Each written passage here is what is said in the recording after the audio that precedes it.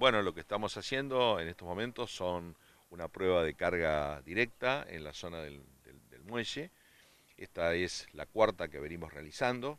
Hemos hecho acá en el dique 1, dos sobre la margen oeste, eh, una prácticamente frente al edificio de prefectura, donde estamos detrás nuestro, otra en la zona primaria aduanera, eh, otra en el extremo eh, noreste del dique, esta es la cuarta y vamos a hacer otra en, el extremo el día martes próximo. Fundamentalmente lo que estamos haciendo es aplicando una carga en, unos lugares predeterminados, algunos lugares en los cuales había, o sea, fueron elegidos básicamente en acuerdo con el ente, administrador del puerto de Santa Fe.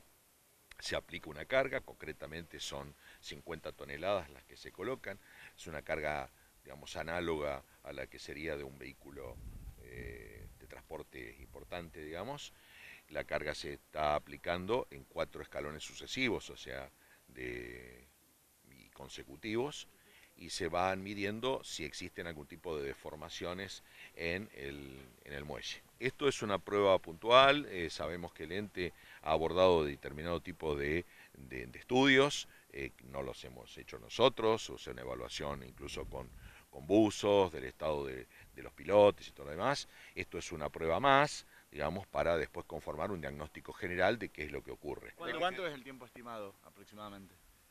Eh, yo supongo que en un par de semanas esto estará definido. Nosotros tenemos, como les decía recién, hasta la, semana que viene eh, vamos a concluir la quinta prueba de carga eh, en estos puntos que hemos establecido previamente. ¿Cómo se continúa? Sí, bueno, eso después es una decisión del ente, ¿no es cierto? De, eh, creo que una de las cuestiones prioritarias es en función de los resultados, eh, la posibilidad de poder eh, habilitar, ustedes ven que hay toda una zona acá que no está habilitada al tránsito, y en función de eso, bueno, el ente hará la evaluación correspondiente y en función de eso, bueno, determinará las, las medidas a seguir, digamos.